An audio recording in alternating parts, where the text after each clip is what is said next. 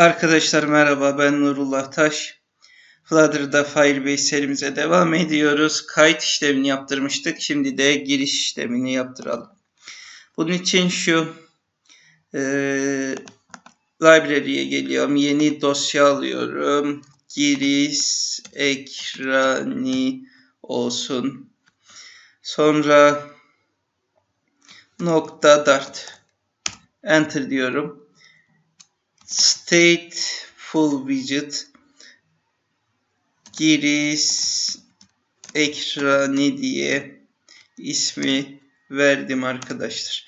Şimdi bir satır alta gelip kütüphaneyi ekliyorum.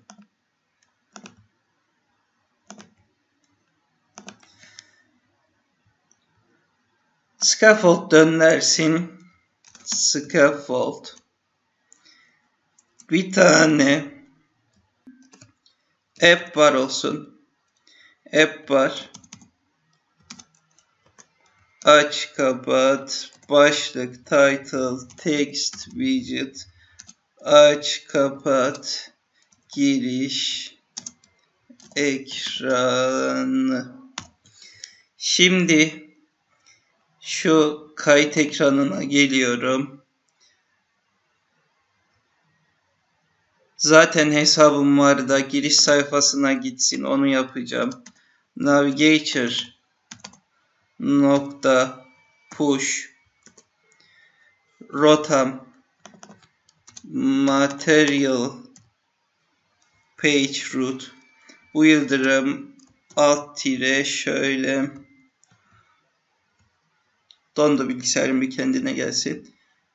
Yanına da eşittir büyük işareti giriş ekranına gönderiyorum arkadaşlar.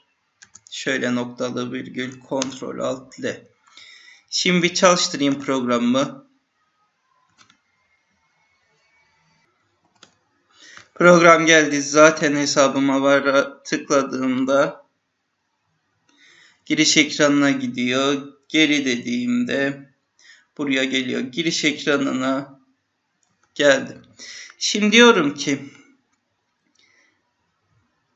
kayıt ekranı giriş ekranının gövdesini oluşturmaya başlayayım. App bar'ın altında. Üst, üst şeridin altında.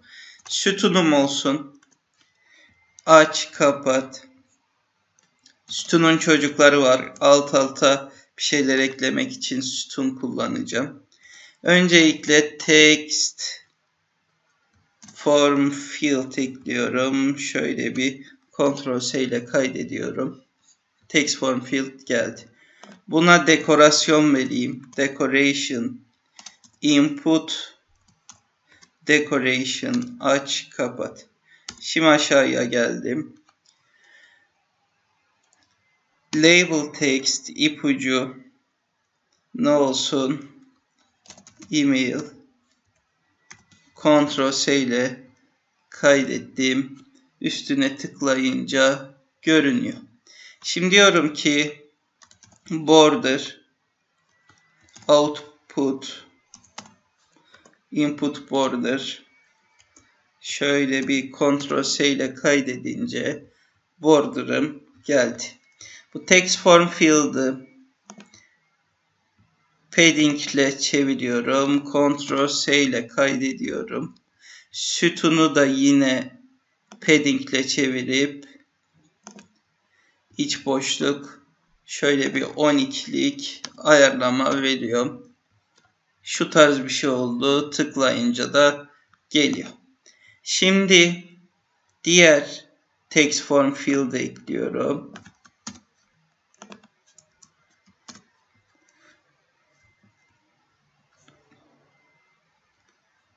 Ctrl Z diyeyim. Şu text form field'ı Ctrl D ile kopyaladım. Aşağıya geldim. Bir Ctrl Z diyeyim arkadaşlar. Yanlış şey yapıyorum. Niye? Padding'in içine aldım Ctrl Alt L ile.